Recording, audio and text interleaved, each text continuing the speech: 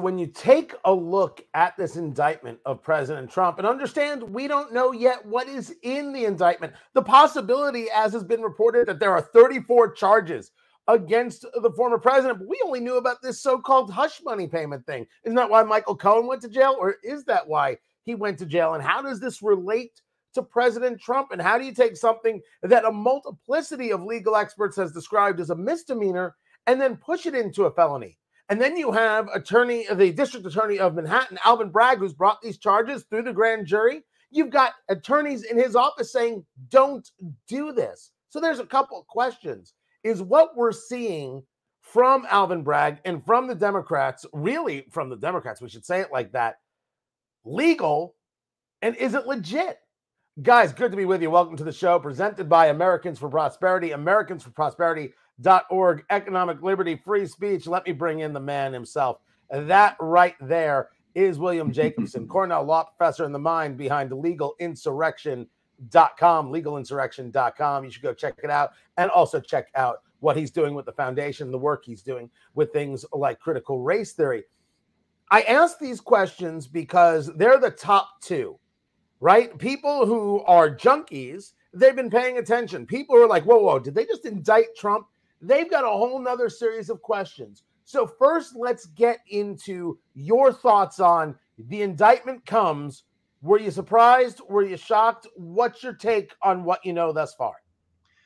Well, it wasn't a surprise in the sense that everybody's been talking for weeks, if not months now, about how it's moving towards an indictment. But when it actually happened, yes, I, I actually was kind of shocked because it's a momentous uh, event in the history of the country where a politicized prosecutor, somebody who vowed to get Trump uh, during his campaign, is now actually following through on it.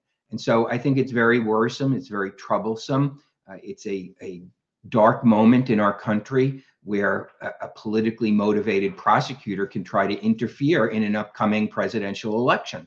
So, yes, in that sense, it was a surprise. As political as we know that Soros backed prosecutors have become, it's still a shock when they actually do something like this. As to the indictment itself, uh, we have to wait and see. We have to see what's in it. But if the leaks and the reporting by the New York Times and others is correct, this does seem like a very far fetched theory that they're pursuing against Donald Trump.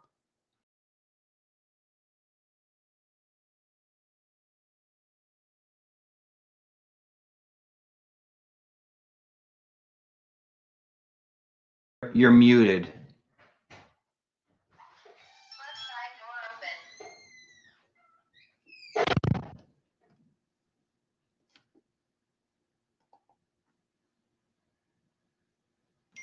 Sorry about that, guys. My no, you were muted. We and unlike muted. Zoom, there was no way for me to message you.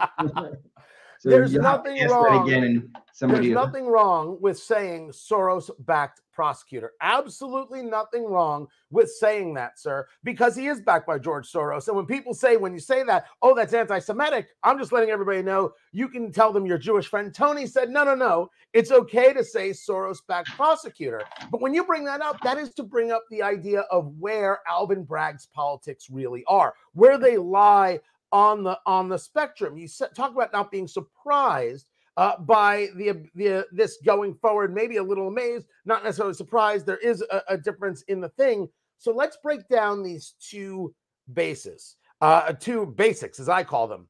Is this legal? Is this something that the district attorney Manhattan can do? Whether it's the idea of charging a president uh, or or a former president, or is it more of charging a former president like this? Well, I'm going to take you off track for a second and deal with the Soros backed prosecutor issue. Um, I find it completely disgusting when people abuse the accusation of anti Semitism, which is a very serious accusation, simply because people are stating a fact.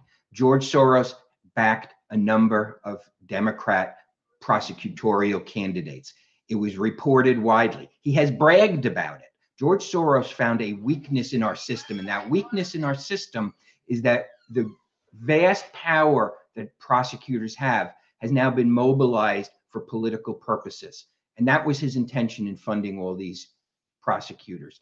Our system relies on the good faith of prosecutors because they have so much power, including the power to bring matters to a grand jury where the defendant doesn't get to present countervailing evidence, doesn't get to present opposing viewpoints.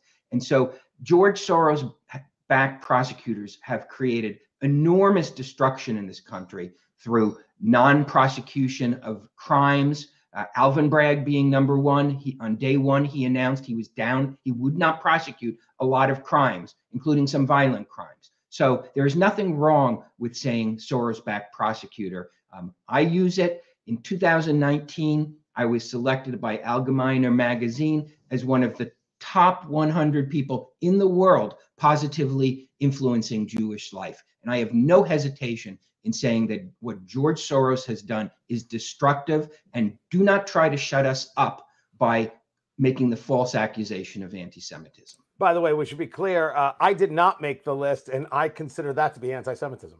Is that not how it works? is that not how it is? That let's get back to Alvin Bragg and really get yeah, into this one two punch. The question is Is, is it the legality of it all? Uh, that will be ruled upon by a judge. This appears to be, assuming there's no surprises in the indictment, there's no crimes alleged unrelated to the payment to Stormy Daniels, assuming, as the New York Times and others have reported, this is all related to bookkeeping crimes, um, then a judge is going to have to rule on whether a local prosecutor, a county level prosecutor, can turn stale, out of time misdemeanor charges into felonies that, uh, based on alleged violation of federal campaign laws, particularly where the federal government has investigated and chosen not to prosecute.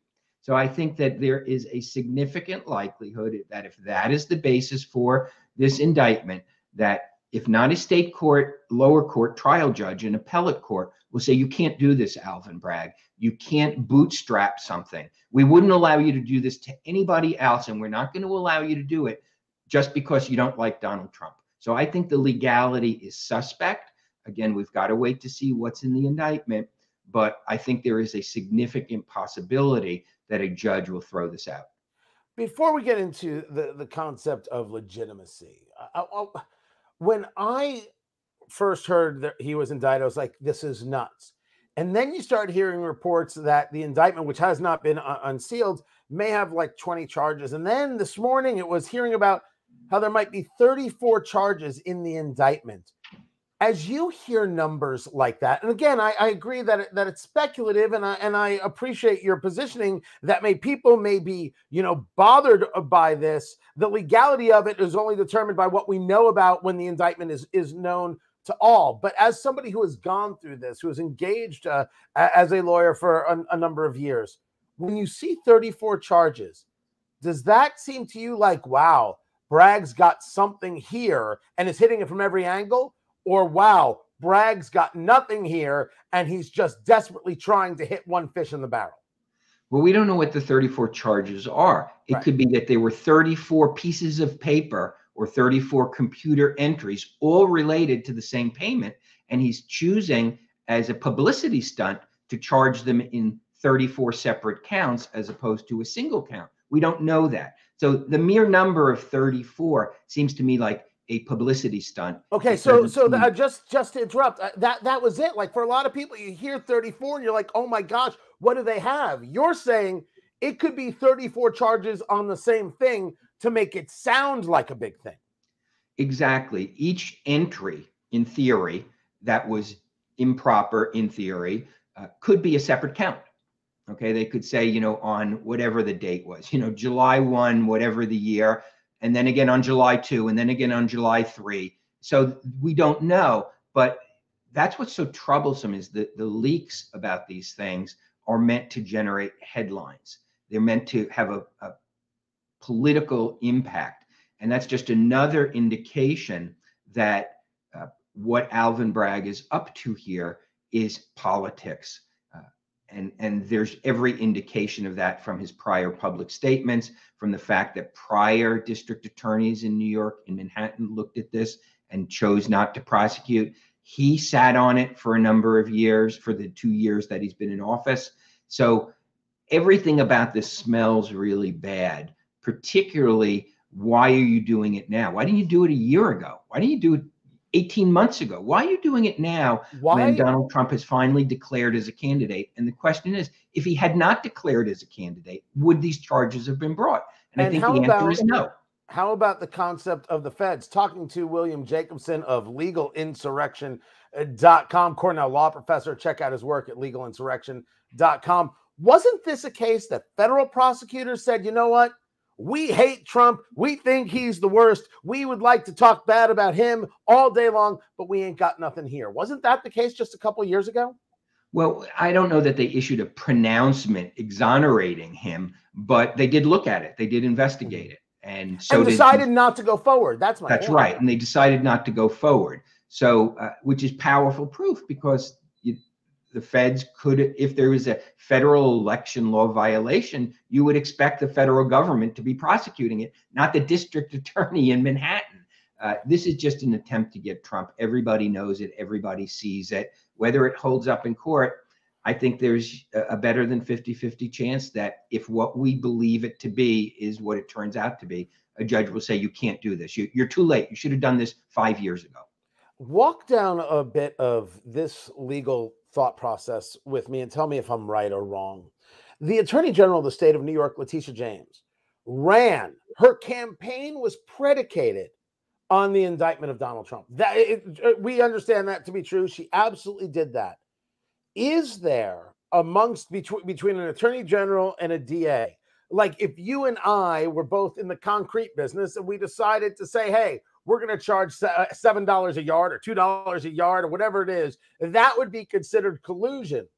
Is there anything amongst with, within the legal world that Letitia James could have applied pressure to Alvin Bragg? You have to get this done, or is it two people who were elected into office uh, who simply could talk about these things and there is no legal issue therein? Well, there's probably no legal defense there that if it's true that Letitia James' office spoke to Alvin Bragg's office. I, the, the charges are the charges. They will right. either stand up legally, but what motivated them, I'm not sure, is a, a legal defense. Uh, but it goes to a bigger issue: is this is a, a deeply blue state with uh, politicized, weaponized prosecutors who go after political opponents. Letitia James was even worse in her campaign than Alvin Bragg. Letitia James said the entire reason she's running for office is not just to get Donald Trump, but to get his businesses and his family. And she seems to be pursuing that, although she hasn't brought criminal charges. This is a complete corruption of the power of the state that lies in the hands of prosecutors this system that we have relies on some measure of good faith in prosecutors. And we know that there are malicious prosecutions. We know this is not the first time a prosecutor has, has been politically corrupted. But the fact that it's taking place as to a former president as we're in the early stages of primary season makes it so much worse. Why didn't Alvin Bragg do this six months ago before Donald Trump declared his campaign for president? He could have done it and to that point, when you talk about what it does, we heard reports that there were assistant district attorneys in Alvin Bragg's office saying, don't do this. Do you expect to see a slew of resignations in the next 48 hours of people saying, yeah, I'm out. I, I'm an actual lawyer. This is nuts? No, I don't expect to see a slew of resignations, but I'm hoping there will be one person in that office who will do the right thing and come forward as a whistleblower and blow the whistle on what happened and reveal those consultations because this is, by all appearances, not a proper prosecution. This is, by all appearances, a political prosecution. And somebody in that office needs to step up and reveal what went on behind the scenes. I don't think there's any privilege to that, but they certainly could invoke various whistleblower laws. They could cooperate with Congress. They could cooperate perhaps with other prosecutors if there is something that unfounded and untoward went on in the Manhattan District Attorney's Office. Somebody needs to step up and reveal why this is being done at this time to this person that is so impactful on our nation and on our presidential election. Really quick, uh, because I'm, I'm up uh, against it. William Jacobson, Cornell Law Professor, legalinsurrection.com. Th- there came this question If the charges don't stick, Do you think it'll boost Trump's chances for election? It's a political question, um, but uh, is is as you see it, because you play politically, you think this is a gift to Trump, or you think this is a problem? Well, in the moment, in the short term, it's certainly going to help Trump's chances of winning the Republican nomination. I think by all accounts, he was the leading candidate, but we really hadn't started the primaries. But I don't think you can predict what the longer term impact is going to be. I don't think you can say what's it going to be in eight months from now. Depends what happens with these charges. Depends if other charges are brought by other prosecutors. And it depends whether Republican voters want to have this be the issue going into a general election. You know, I think the notion that a lot of people on my website and in you know conservative world that oh this is a guarantee that Trump's going to be the next president. I'm sorry that that's just not the case. You live in a bubble. We live in a bubble. And outside that bubble, people are deeply suspicious of Donald Trump, deep dislike of Donald Trump. He has never won the popular vote in the country. He barely eked by in 2016. So the notion that Donald Trump being maliciously charged is going to win him the presidency, I think is wrong. I think there's two levels of manipulation going on here. One is the manipulation by the prosecutor. The other part is Democrats, I think, are thrilled about this. They want Trump to be the nominee. They want to go into a general election with all these criminal charges pending yeah. against the Republican nominee. And yes, it will solidify some part of the Republican base. But I think people are deluding themselves if they think this is going to win a general election for Donald Trump. There's a difference between a primary and a general. That's the point. William Jacobson, Cornell Law Professor, the mind behind legalinsurrection.com. I appreciate taking the time uh, to be with us. And thank you all for watching the show presented by Americans for Prosperity, AmericansForProsperity.org, economic liberty, liberty. There we go, Tony. Free speech. It's all the good stuff. And don't forget to subscribe on Rumble, rumble.com slash Tony Katz. Subscribe, subscribe. Do it right now. I'll catch you very soon, guys. Take